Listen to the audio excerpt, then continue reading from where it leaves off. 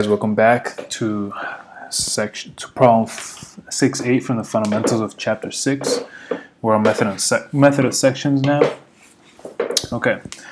So if you went over the last problem 6-7 you might have um, seen that we had an over overhanging beam okay? Or cantilever beam. In this case we have uh, a structure that's supported on both sides A and G. So what we're gonna need to do initially is find the reactions A and G. So we know A is a pin, so we know it's going to be AY. And let's just assume AX in this direction. And then we have uh, determine the forces, blah, state of the mirrors, okay. And then here we have a roller, which it's kind of blurry, but it is a roller. And we know it's going to be GY. All right. So before we get started, let's just find those. So analyzing the whole structure, okay, before making a cut. So forces in the y direction. We have AY plus um, GY. What else? Minus 20 kilonewtons, minus 30 kilonewtons, and then minus 40. All right. Equals zero. Okay, and let's just take a moment about A okay? So we take a moment about uh, A, we're gonna have 20 kilonewtons pulling it clockwise, okay, so minus 20 times 2. Then we have minus 30 times 4, minus 40 times 6, right? So far so good. And then we have gy starting to oppose that movement towards the clockwise direction. It's pushing it counterclockwise. Okay, it's going okay? Because if we took this off, this whole structure is going to go this way, right? It's going to clock, clockwise direction, all right? So plus, let's see, that's 3, 6, so it's going to be 12 times gy equals 0. And this will give us, let's see, gy is 33.33 kilonewtons, okay? And then plug that back into that first equation that we did, and we should get AY. Okay, AY will be, so that's going to be 70, 90 minus 33.33, so, right, 70, 20, yeah, 56 0.67 kilonewtons. Okay, store those for later. All right, and now, now we're going to do method of sections. So they're asking us to find the forces and members LK, KC, and CD. All right, so let's look at that. So here's CD. All right, and notice how it's a two, it's a two, three, uh, triangle here. So we have 2 as a base, 3 as the as the height. Okay, so that, that can give us that angle phi over here. So let's just do phi real quick. So phi is inverse tan of 3, right, opposite over adjacent 2. So make sure you're in degree mode in your calculator. And that is 56.3 degrees.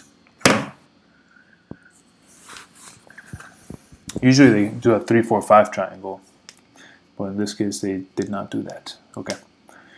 All right, so let's go back to the members. So CD, LK, and KC. So where's KC? Well, we have KC right here and LK. Where are you, Okay. All right here. Okay. Again, we have the little Z, the Zorro. Almost, not really, but okay. So let's cut, let's make a section cut through those three members, okay? So let's show you what not to do.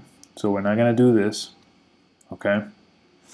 That's a no-no We're not going to do this again. No. We're going to cut it through here and then analyze the left hand side or the right hand side. Okay? So let's see. From this, the left hand side, let's see. Let's look at the one that has the most forces. So this, if we look at the left hand side, we have AY. Oh yeah, AX is 0. We have AY, there's 20 and 30 and 3 unknowns.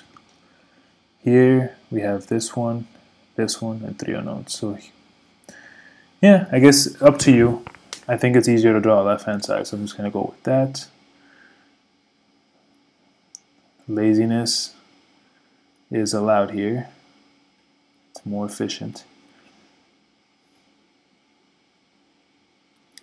Okay, that's this is B, this is C, this is L. Let's draw the ghost point K because we might need it. Hint, hint. Who knows, maybe we need D. Okay, and let's draw the, the forces that we want. So this is LK. Right here we have um, CK, okay, and then we have CD. All right, and aside from that, we have um, three external forces. We have AY, which is 56.67. We have 20 and 30. Okay. So again, just like before, let's look at a point where we can take a moment and and simplify it to where we don't need to use these other forces. Okay.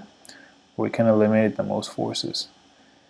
And that's going to be point C. So just look at point C. We have three forces originating at it, uh, uh, originating from it. Okay. So we have. Let's take a moment about C. Set it to zero. Okay. So we're gonna have 56, and we know the distances here are two, so it's gonna be 56.67 times four. All right, clockwise, so that's negative. Then we have this 20 pulling it counterclockwise times 2. And then LK, LK we just need to, remember, just bring the line of action, shift it down. And what is that distance? That is 3. So it's going to be LK times 3. And LK is trying to make it rotate clockwise, okay? And that's it. That's all we need to do for this. And then let's just look for LK. Yo, LK. Okay, so that's going to be 56.67 times 4 minus 40. Right, so boom, positive, minus, oh, we get the negative here. So after all, this gives us minus 62, well, that's a dumb two, 62.2 kilonewtons, all right? So then we know that LK is actually, so I drew them all in tension, so we know that LK is actually in compression. Okay. Boom. All right. So now let's do, actually we can do CK pretty easy because CK is not at an angle. So we know if we do forces in the y direction, it's going to be 56.67 going up, minus 20, minus 30, and then plus CK, Plus CK, Okay. So then CK is going to equal um, 56.67 minus 50. All right. So again, minus, so 56.67 minus 50 will give us 6.67 kilonewtons. Okay, so the structure is kind of getting squeezed, okay, because in compression as well. And that's one thing you guys can do is to first kind of look at the whole structure, how the forces are acting on it, and then try to this and try to just or not assume but decide on how the structure is going to be like deforming as these forces are apply, applied to it. So we know that it might bow down in the middle, okay? So yeah, so CK might be compressed, you know?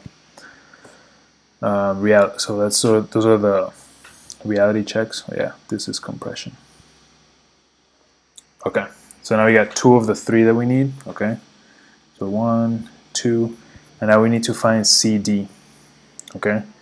Well, so now before you go any further, all right, you might jump, you know, you might be automatic like a robot and just jump straight into another moment equation. But look at what you have. There's CD going here, and you have LK going into the right as well. There's no other X, uh, there's no other force in the X direction. So what you can easily do is just, okay, forces in the x, you know, just do it nice like this, and say, okay, LK plus CD equals zero. You know they have to add up to zero because the structure is in, uh, in equilibrium. But we actually had LK is, is compression, so we know it's going to be minus 62 0.2 plus CD equals 0. And then that gives us CD as 62.2 kilonewtons. Okay, and that's that's actually in tension because we didn't you didn't have to uh, there was no negative sign for it. Okay, and just you know we already one thing you can do is as you figure out which direction these are going, you can flip the direction here. Okay? And that way when you use it again, you're to be like, oh, okay, minus LK because LK is going to the left now that you fixed it. Okay? What I did here was I knew that LK was here. So this is kind of what I give the professor. Okay, 62.2 compression. But this is what it actually is according to my drawing. Okay, so when I plug it into anywhere, you have to plug it in with the negative 62.2. Okay, all right, guys. If you have questions, comments, concerns, just drop a comment below. Uh, be happy to help you out. Um, thanks for tuning in to uh, this problem. Take it easy, guys.